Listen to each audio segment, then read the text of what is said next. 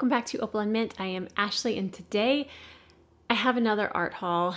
Today is going to be a Jerry's Artarama haul and I have a handful of things here. Um, it's not a ton, but it is fun stuff. Uh, paint brand that I haven't tried yet, a couple of new Daniel Smith paints, some brushes, and some paper. So let's just see what I got. And of course, we're gonna be swatching these paints as well. So I'm gonna save the new palette for last. Let me show you the two Daniel Smith paints I got first. Hold on. All right, so I got two new colors from Daniel Smith and um, yes, I have enough colors from Daniel Smith, but I like trying out more to see if I like a certain color better than others. Um, my palette seems to be ever evolving. I recently took one color out and put in Rose Madder. Really am liking that one a lot. So I've got these two new colors and I have a feeling these are both gonna end up in my palette. One of them is Hooker's Green, and I've actually never tried a Hooker's Green in any brand, so I'm excited to see what I think of this. So I'm very excited to swatch that. And the other one is Quinacridone Deep Gold. And I have Quinacridone Gold in my palette and I really enjoy that one. So I'm curious to see what I think of this one in comparison. So those are the two Daniel Smiths that I got. Let me show you the brushes. I got three different Princeton brushes. Um, I've had my eye on these for a while. I'm gonna start with this one because it's so pretty. I, I've honestly wanted this one just because of the handle, and I know that's silly, but I like it and it's pretty and it'll stand out from the rest of my brushes. Um, I enjoy brushes that I like identify quickly because of the handle. Um, it makes it easy for me to find, you know, my favorites. It's like my black silver velvet, velvet one I really enjoy. Uh, sometimes it's a little bit more difficult to find. The little ring helps a little bit, but having a bright color, I very much enjoy. Anyways, this is a square wash one quarter inch and I honestly haven't used this size and shape of brush really so I'm curious to see what I end up using this for while painting so the other two are from the Princeton Neptune line I think this is technically Princeton Neptune also yes they're all Princeton Neptune brushes uh, the first one is a number six round um, just a normal, usual size that I go to and use a lot. So um, I wanted to try out the Princeton Neptune. And then the last one is a quarter inch dagger. So again, same size, quarter inch, but this one is a dagger brush. And I've actually been really enjoying using a dagger brush in a lot of my florals. So got those three brushes. I'm excited to play with those. But next, I got some some more watercolor paper from Jerry's Artarama. I think, correct me if I'm wrong, but I think this is the, their brand or they only sell this. This is the only place you can buy it. I'm not really 100% positive, but I think it's like their in-house brand. But it's New York Central watercolor paper. So I got um, this uh, 4 by 10 size in the 300 pound instead of 140 pound.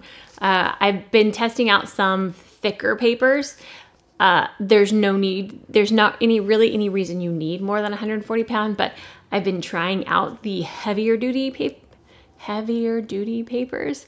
Um, and I wanted to try out the New York Centrals because I have actually been using a lot of their 100% cotton paper and it's really good. Um, so I also got, this is an 8x8, which I actually really enjoy this size. I think it's a nice, decent size, and I really like the square. So this is the 140 pound, 100% cotton watercolor paper. And then one more paper, just another size of the 140 pound, and it's a big one. this is the 12 by 16, and I really have been enjoying painting larger things, and I have a lot of Fabriano paper that's like huge that I've been using, but I have this as well. So I'm excited. Um, I think we'll swatch on, no, I'm to swatch on the 140 pound. I will, well, no, we'll swatch on the 300 pound. We'll swatch with flowers. That way I'm not just using that piece of paper for swatches. We're gonna, we're gonna do some flower swatches today. Okay, and here is the main event of this video. I have not tried anything from, I have not tried anything from this brand and I've been dying to. Um, there's just so many brands, you know, it's hard to get to them all. But this is Sennelier. And forgive me if I'm not pronouncing it correctly. Um, but this is a, I don't remember how many pans this is. Hold on. 18 pan. So there are 18 pans in here. Um, there is some room to grow as well. So I think this is a holds 24 if it's like my other one that I have this size. But anyways, we're going to go through and swatch these colors and just get my first initial reaction of this brand in general. Uh, whoop, whoop. Well, there's my first reaction. The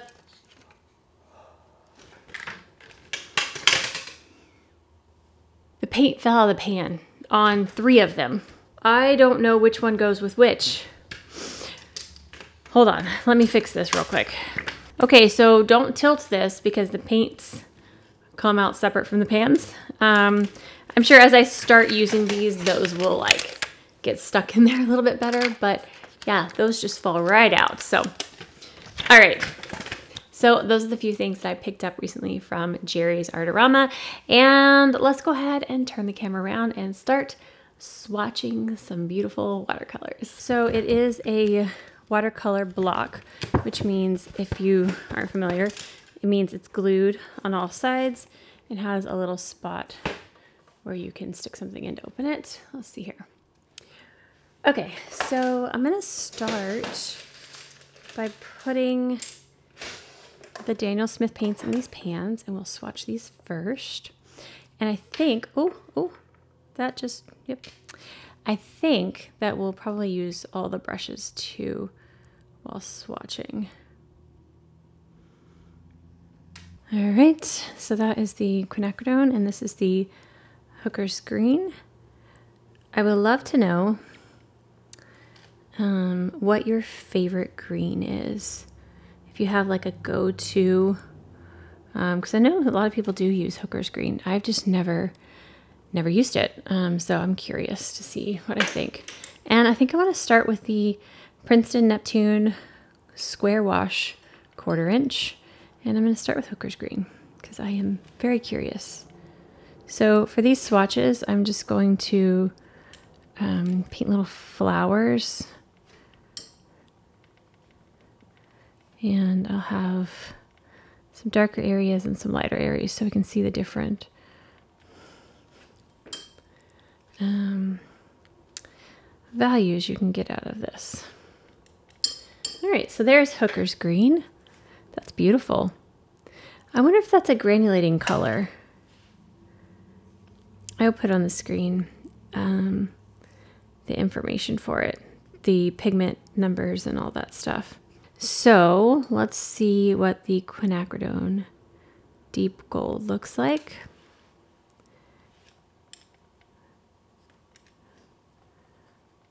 Interesting. I like this brush though. I don't know why I said though, like I didn't like this color. This color's fine. I could definitely see this being useful. I just, um, I like quinacridone gold because you can get it really light and make it look very, you know, yellow, or you can use it more mass tone. Um, so curious to see how I end up using this one while painting, but beautiful. Okay, so there are the two Daniel Smith ones. I'm gonna set those aside and we're gonna switch brushes too so we can try those out. But let's go into the Sennelier ones. And does this come out? There we go. That way I can hopefully read these names. All right, first up is lemon yellow. So let's take the round brush and let's swatch out lemon yellow. That is definitely lemon yellow.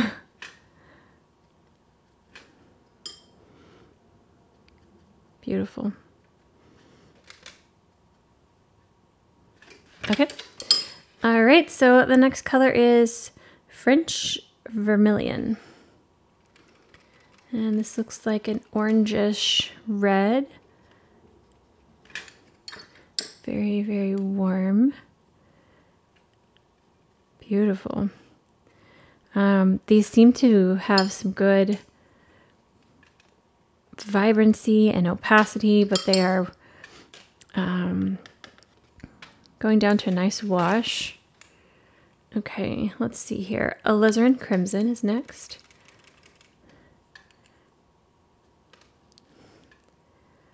Oh, I love that. That's beautiful. That one's really pretty. That one looks like it's granulating. This is a pretty textured paper. So, um, yeah, some of these, until they're dry, I don't really know if they're granulating, but they, they look like it because the paper is so textured. All right, the next one is Carmine. I'm assuming that these two didn't get reversed when they fell out of the pans. Hopefully. Although, no, okay. If I if I was um, looking at these, I would have said that was carmine and this is alizarin. But according to the swatches on this thing, this looks to be correct. So hopefully I don't have those um, switched up and backwards for all of eternity now. um, all right, next up is dioxazine purple.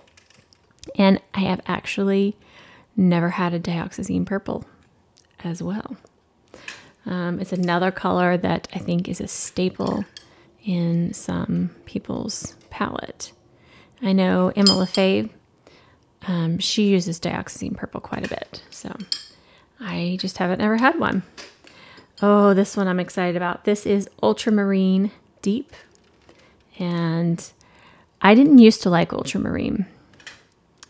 I thought it was too blue, too bright, vibrant, kiddish blue. Um, but it is a wonderful mixing color and it and it is generally a granulating color and I have really grown to love ultramarine and French ultramarine. Very, very pretty. All right, next up is, I don't know how to say this one, phthalocyanine blue. We're going to say that's that's correct, okay?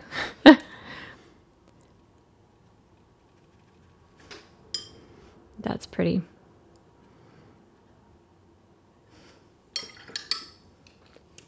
Next up is forest green. Ooh, that's gorgeous. That is a pretty green. I like, I like a lot.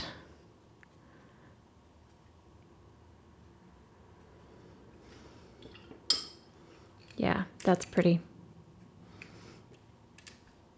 See how deep we can get this.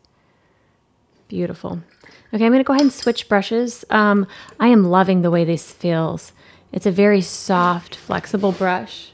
All right, so I'm going on to the dagger. So the um, flowers might look a little different now. We'll see. Uh, the next color is Phthalo Green Light. And this looks like a very spring kind of green. Whew. Yeah, this dagger is very, very floppy. But um, that will be really, really good for some nice loose watercolor. Um, it's a very, very vibrant green. Pretty. All right, next up is burnt sienna. I'm going to put you over here in a corner. Let's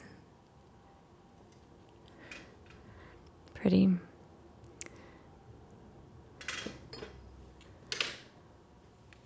And that is burnt sienna. So, um, I mean, there's only so much I can tell about these, this brand of watercolors just from these initial swatches. Um, next one is, next one is Payne's Gray. Um, but so far I don't have any complaints. They are rewetting, uh, reactivating very easily, which I personally uh, want in a paint because I don't spray my paints down. Um, I want to switch back to the other brush. I don't want to fight that. Uh, just not for what I'm, not the right brush for the job at the moment. Um, but they seem to be performing fantastically. I haven't had any, I uh, haven't done any color blending and bleeding yet, but we'll see. All right, this next one is Warm Sienna. This is pretty. I like this brown because it's a little bit warm, but um, not too warm. Pretty. All right, a few more to go. Next we have Naples Yellow Deep, and I've actually also never had a Naples, so lots of first colors for me in this palette. Well, that's pretty. Oh, I like that yellow. It's a little bit more muted. Beautiful. Okay, next up is bright red. so I'm assuming this is similar to like a permanent red. Let's put you over here.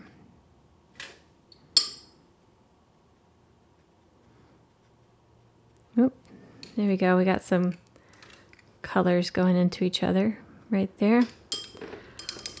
All right, next up is Venetian Red. Yeah, lots of first for me in this palette. This um, just looks like a brick red brown.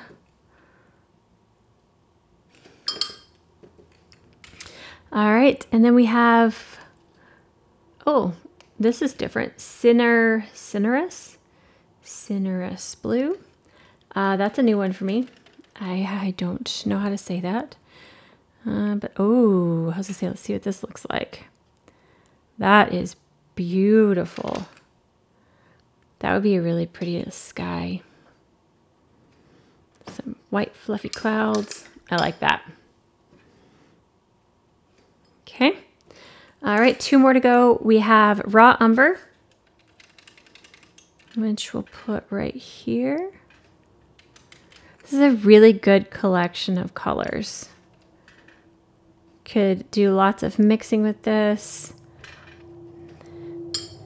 Got some convenience colors. You've got, I'm not really sure where I was going with this uh, flower over here. It kind of just turned into a blob, but that's okay. Oh, I could see a really pretty sunflower with those two. I like painting sunflowers. Okay, the last one in this palette is Ivory Black. So let's see what this one looks like. Beautiful. All right. So there are the Sennelier with two Daniel Smiths thrown in there. Um, I love the brushes. I'm excited about those. And I actually, I, I don't really use square brushes that much, but I'm excited for that one because it's small and it's so flexible. Um, I think this is going to be a really, really fun brush. So before I close this out, I do want to um, have some of these colors just blend into each other. I just want to play with them just a little bit more. Um, but I do want to know if you have tried this brand of paint. Uh, I want to know what your thoughts are. Um, for reference, I use Daniel Smith's primarily. I have lots of other paints at this point. Um, I've been building up quite a paint collection, but oh, these are pretty. Yeah, I really enjoy that they re-wet nice and easily. And if I'm not mistaken, I believe these are honey based. Um, so, oh, these are beautiful. Yeah. And I will have put the um, pigment information and stuff on the screen as I was swatching those. So hopefully that helps you out. If you are a pigment nerd, not necessarily my thing, but I know that there are some people that enjoy that. So, but yeah, let me know your thoughts in the comments below. And if you have a favorite paint from this brand, I would also like to know that if there's something else that I need to try. Um, if they have any good granulating paints, please let me know because I love some granulating paints. But I think that is going to wrap it up for this one. If you did enjoy this, please give it a thumbs up. And if you haven't already and you want to see our future videos, hit that subscribe button down below. And I'll see you guys next time. Bye. Oh no, I just put my hand in the paint. Oh. It's the microphone. Hey guys. Hey now, hey now.